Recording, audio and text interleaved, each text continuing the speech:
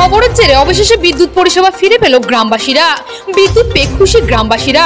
উল্লেখ্য চাকুলিয়া থানার সাগরপুর ঘোষপাড়া গ্রামে বিদ্যুতের ট্রান্সফরমার বিকল হয়ে যাওয়ায় পনেরো দিন ধরে বিদ্যুৎহীন হয়ে পড়ে গোটা গ্রাম।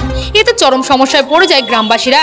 গ্রামবাসীদের সমস্যার কথা ভেবে শনিবার সেই খবর সম্প্রচার করি আমরা। খবর দেখানোর পর নড়ে চড়ে বসে বিদ্যুৎ দপ্তরের আধিকারিকেরা এবং রবিবার দুপুরে সেই গ্রামে নতুন ট্রান্সফরমার নিয়ে হাজির হন বিদ্যুৎ দপ্তরের কর্মীরা। বিকল হয়ে পড়ে থাকা ট্রান্সফরমার সরিয়ে নতুন ট্রান্সফরমার লাগিয়ে দেওয়া হয় এবং অবশেষে গ্রামে বিদ্যুতের পরিষেবা পেয়ে খুশি গ্রামবাসীরা।